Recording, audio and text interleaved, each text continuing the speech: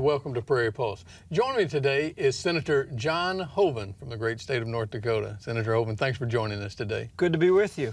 Well, as we get started today, uh, Senator Hoeven, we're not going to ask you to tell us all about yourself because I, I, really believe most people know who you are. But let's talk some about. First question is going to D.C., sort of what are the differences and adjustments from being governor to now being senator? Well, it's a big adjustment. And you know, for myself and Mikey, North Dakota's home. It will always be home. Our uh, home's in Bismarck and so forth. We have an apartment in D.C. But, you know, it's an incredible honor to represent the people of North Dakota. Mikey and I were honored to represent North Dakotans as Governor and First Lady, and we certainly feel that honor now, you know, working in the United States Senate. And uh, there's a lot to do, but, I, you know, I really take the same philosophy that we had here, and that's a very common sense philosophy, a belief that that government should create an environment that really empowers people. I think it's working here. We've been at it for a decade and we're seeing real progress. I really think that's the kind of approach that we, we need in our nation's capital. But, but have, have there been any frustrations for you or you know issues? Well, sure. You know, I mean, it's been a tremendous transitional time with all the flooding, uh, you know, and, and, of course we've been involved with that, and um, just getting set up and all those things, of course, takes a lot of time and effort. But the real focus is the work and working on behalf of the people of North Dakota and this country. And there's a real sense that we need to get our federal government going. We need to get job creation going. We need to get on top of our deficit and our debt. We need to be responsible and accountable to the people of this country to, to get things done for them and, and uh, really, you know, fix some of these challenges that, that our country faces. Well, that said, let's talk about the debt deal. It, it finally sure. passed. Uh, can you talk about, uh, you know, a lot of wrangling going on to get it uh, right. a, a, deal done. Right. Uh, you voted for it. Can you talk about that some? Well, I, I think the important thing with the debt ceiling um, is that we required reductions. We required savings for the first time ever. The, the debt ceiling's been increased something like 70 times since 1960, and, and there's never been any savings or reduction as part of raising that debt ceiling. And with our deficit and our debt, we absolutely needed to start finding a way to, to get savings, to get reductions, to get into reform that's going to help us get on top of the deficit and reduce this debt. Um, and we did. As a matter of fact, with, with the approach that we passed this time, if we continue that, we will balance our budget within 10 years. And the other thing that the debt ceiling uh, agreement provided is a vote on a balanced budget amendment. And I believe we need a balanced budget amendment for this country. We have one for the state of North Dakota. I think we need one for the country. And so, look, a lot more to do, but uh, at least a step in the right direction. Uh, and even with this debt ceiling agreement now, we'll, we'll start on additional work both to find savings, reform, and like I say, reduce the deficit and debt. Well, yeah, the budget deal. Can you talk some about the, what's going on with the, sure. with the budget deal? Seems like both sides aren't necessarily real happy about it. Right, that's the thing. I mean, working our way out of the deficit and debt is going it's tough stuff. And it's hard work. No question that everybody's going to have an opinion on how it should be done. And I liken it a little bit to when I started as, as governor, getting the economy going, doing some of these things, building our financial strength, building reserves, getting to the point where we could actually be not only funding priorities but reducing taxes. It took time to build to that. And we have a lot of work to do at the federal level to straighten out our financial situation. And again, that's going to be tough stuff. No matter how you do it, somebody's going to say, well, I'd rather see it done more this way or more that way. In the debt ceiling, we got reductions up front, almost a trillion dollars. In addition, we require a vote on a balanced budget amendment, which I support. Third, we have a committee, and people talk about the committee doing work, but all the committees of jurisdiction in the Congress have to bring up recommendations to a committee that makes a report for further savings, further reductions.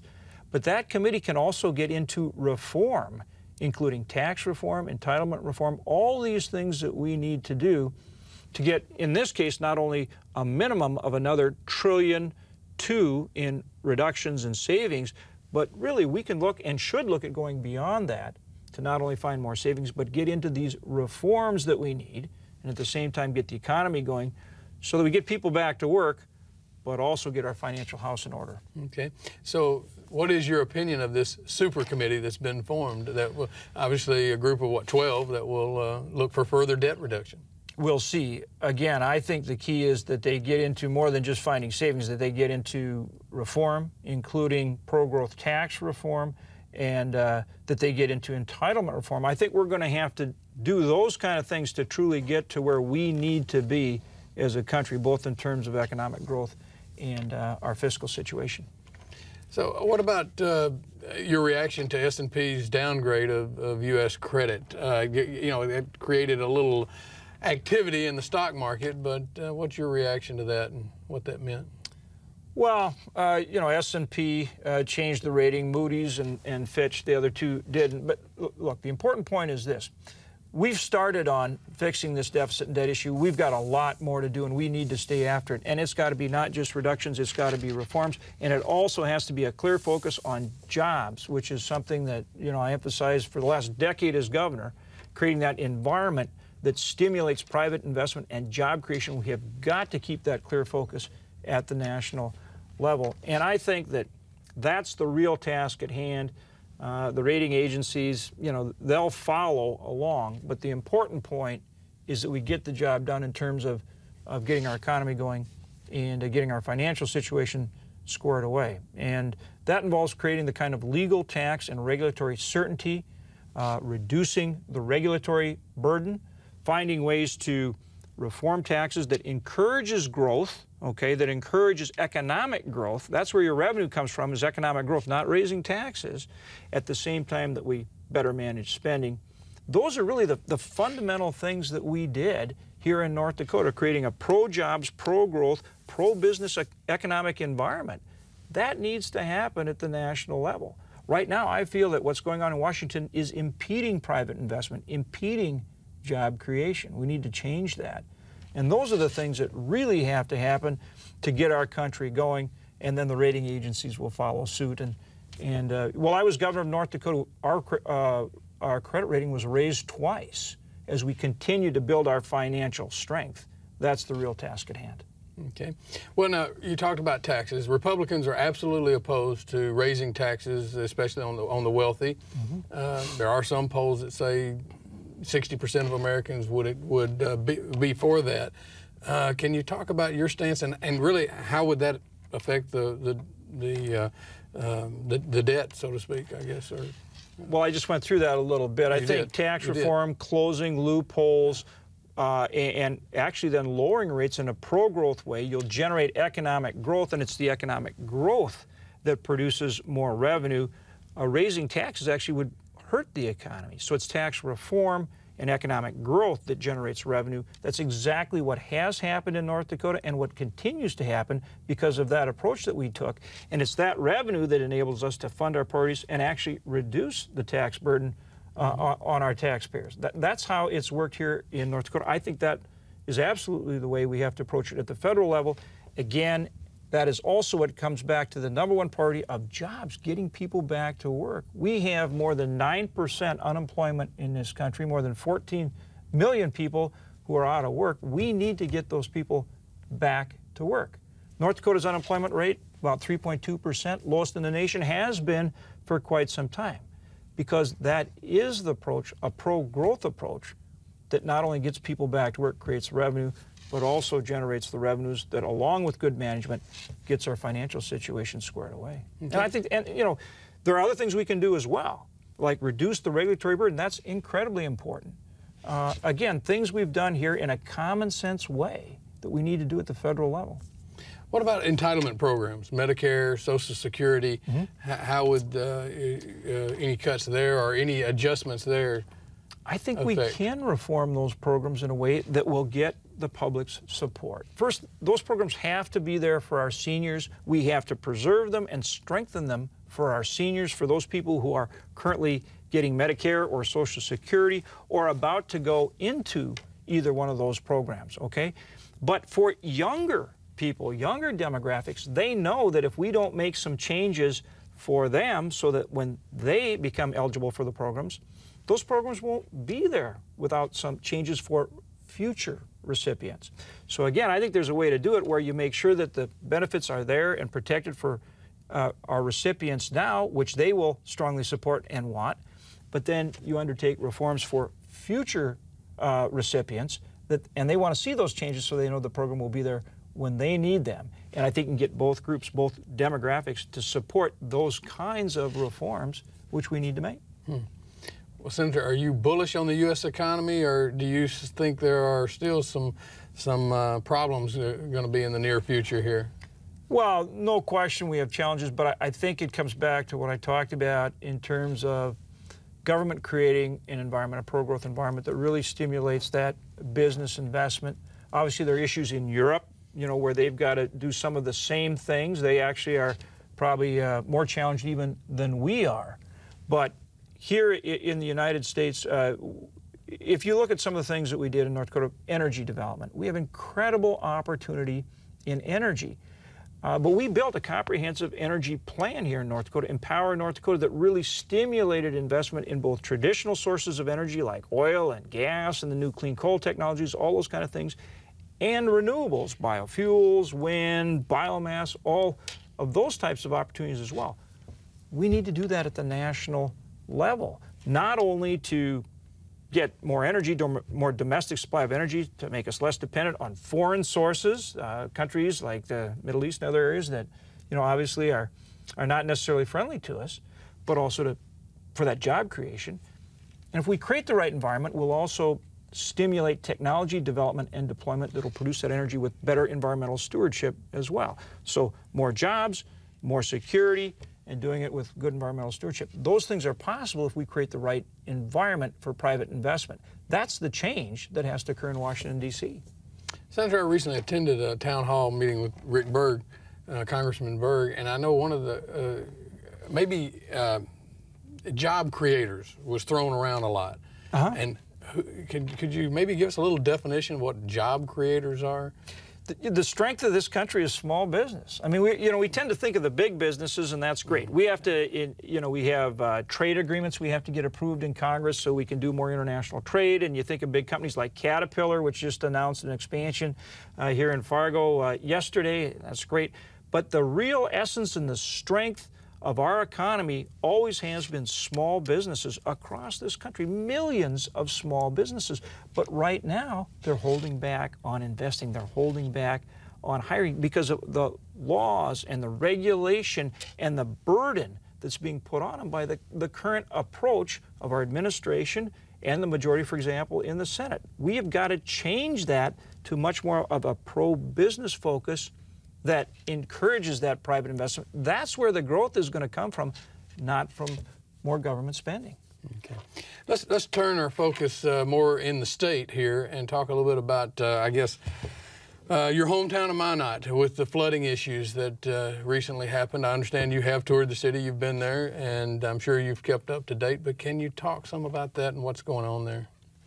You know, uh, Minot we, we, we've had terrible flooding all over the state, as you and, and everybody is well aware of, but Minot really got hit hard. Mm -hmm. And it's a tough situation uh, where homes were just completely destroyed. And uh, so certainly our hearts and prayers are with them. There's been uh, a lot of volunteers helping out, but, but we, we're going to have to continue to do all that we can to help.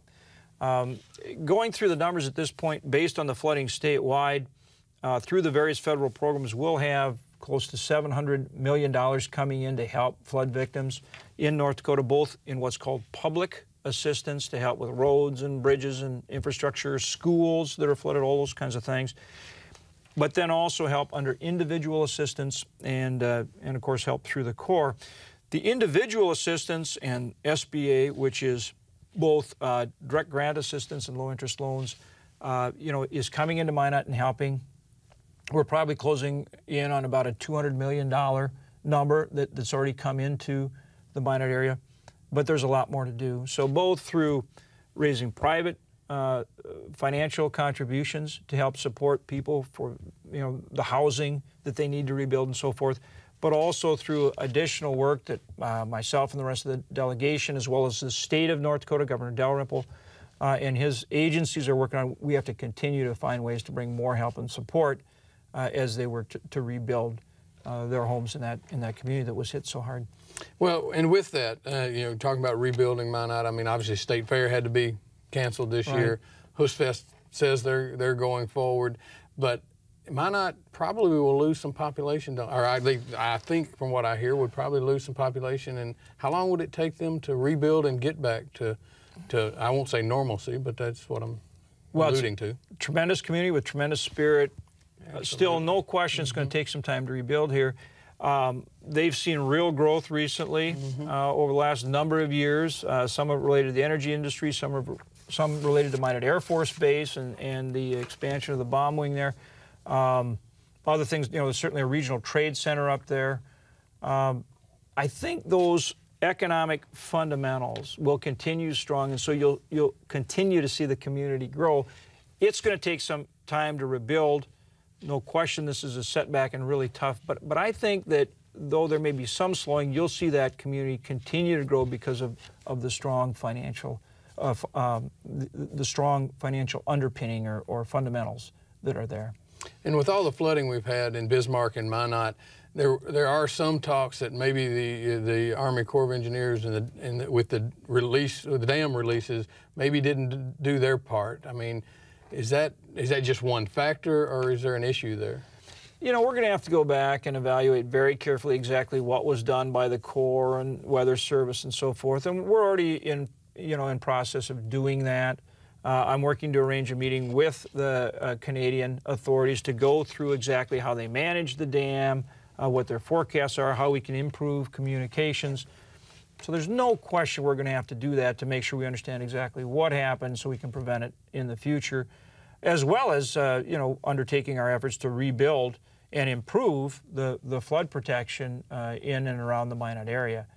And you know we're going to have to do the same thing on the Missouri River with the flooding in the Bismarck-Mandan region, and uh, you know other places around the state. We're going to have to make sure that we do a lot more here in Fargo, uh, Devil's Lake certainly, Valley City, but all over the state. There's a lot of work to do in terms of flood protection, flood prevention. But yeah, you know, to your question, of course we have to understand exactly what's happening or what did happen uh, with the forecast, with the Corps management, and make sure that we um, take appropriate steps so that uh, we prevent it from happening in the future. Well, and you were just alluding to this because this was kind of a follow-up. What about the water issues? I mean, you look at the red, which remains high right now, and you look at what happened in Missouri and the Souris River, and and De- what's going on with Devil's Lake and the Sheyenne's full too. So, I mean, how concerned are you for North Dakota? I mean, water issues is you have too much or too little. Right now, we're in the, the too much uh, phase all across the state. It seems like. We are absolutely in a wet cycle. There's no question about it. It's true across the state. It's impacting our farmers and our ranchers as well. We've, we've got to be there helping them, and we're working hard to do that. But uh, clearly, flood protection is an absolute priority uh, in this state. It's part of our infrastructure development uh, that we just have to continue. We've done a lot with roads and so on and so forth. That continues. But with this wet cycle, no question that's got to be an absolute priority, and it's got to be a local, state, federal partnership uh, to move it forward and get it done. Okay. You talked about farmers. Obviously, a, a number of farmers have lost thousands of acres uh, for crop uh, due to rising waters. Um, some of the fields look pretty good, I guess, depending on if they're in the right areas.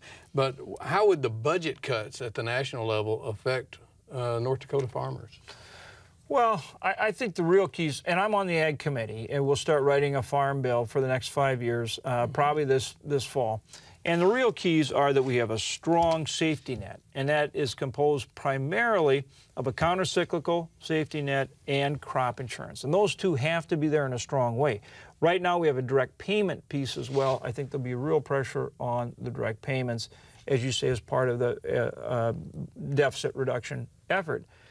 That means that we have to make sure that the countercyclical safety net and crop insurance are there in a very strong way. That is what's most cost effective and provides the best help and support uh, for our farmers and ranchers.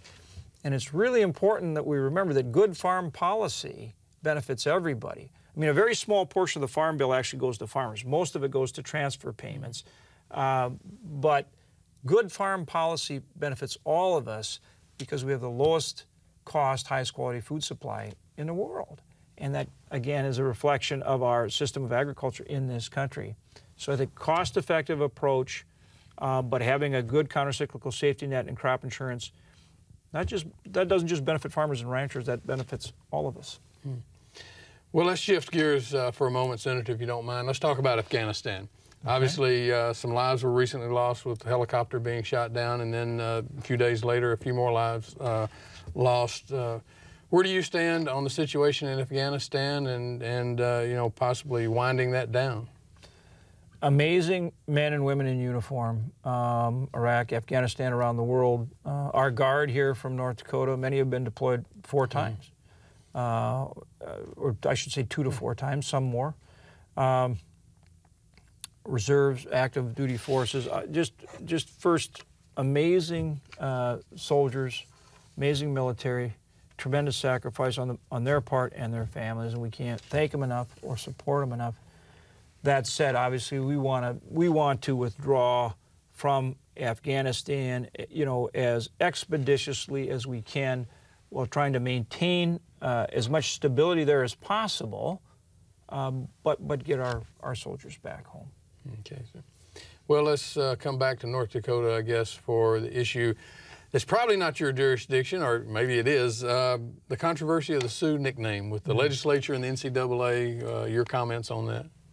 Tough situation. Uh, you know, I've always supported uh, the Sioux symbol as long as it's used with dignity and respect, which I think the university has worked very hard to do you know, we're at a situation now where the board um, is going to have to work with both the NCAA and the Big Sky Conference to, to try to determine the path forward. And, and you know, I, I, think at the same time the board has to really communicate with legislators and work through this. Uh, but obviously, uh, for the for the long-term benefit of the school, uh, making sure that they do what, what benefits the students and the University of North Dakota and being part of that Big Sky Conference is very important. So tough situation, uh, but they're going to have to work through it.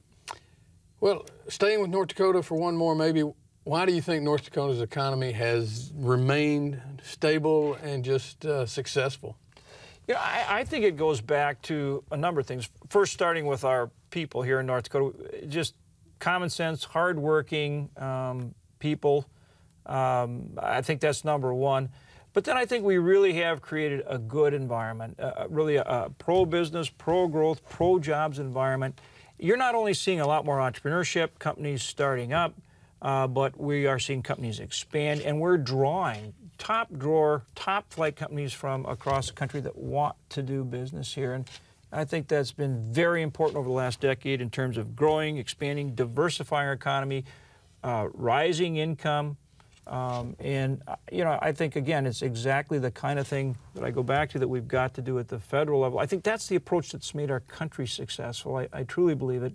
And I think North Dakotans are, here in North Dakota, we're doing a, a good job of it. Okay. Well, now let's go back to D.C.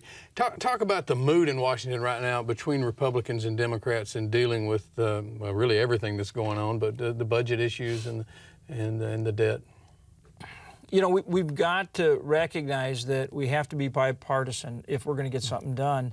We talked about the debt ceiling agreement. 74 senators, 74 out of 100 voted for it. Uh, in the House, 269 members voted for it, a majority of both parties. The point I'm making is to get things done, we're going to have to be bipartisan, and we have to work through a tough situation in that we have deficit, we have debt, we got to get the economy going, we have too much regulation. There's a lot we have to change about Washington to get things working. We're going to have to do it in a way that's bipartisan, and people have to recognize that you don't win the war in one battle. This is going to be tough going for some period of time. But it's like that tough class you took where, while you were taking it, you maybe hated all the work, but when you were done, you, would really accomplish something. It's going to be a little like that for a while. We're, it's going to take some time. Everybody's going to have different ideas on how we ought to work our way out of this. But again, I go back to we have got to undertake action to move this country forward. Um, we're elected to get a result for the people of this country. We're accountable to them, and we have to do the hard work.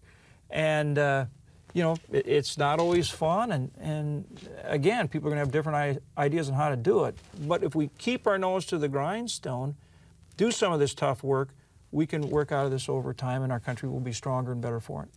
How about your working relationship with Senator Conrad and Representative Berg? Obviously, all, the three of y'all representing North Dakota. Yeah, it goes back to you know how to uh, Republicans and Democrats get along. Uh, You know, obviously there are fights and differences in, of agreement. Uh, you know, whether it's philosophy issues, all those kind of things. But at the end of the trail, you have to work. You have to find a way to work with people to get things done. I have a great relationship with both of them, um, and I think uh, again that goes back to, you know, in the final analysis, we have to be bipartisan to get things done.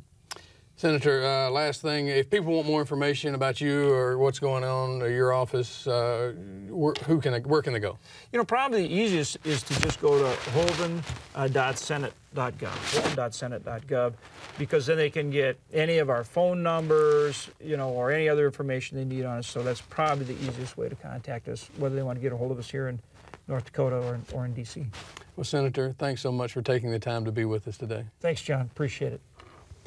Well, that's all we have on Prairie Pulse this week, and as always, thanks for watching.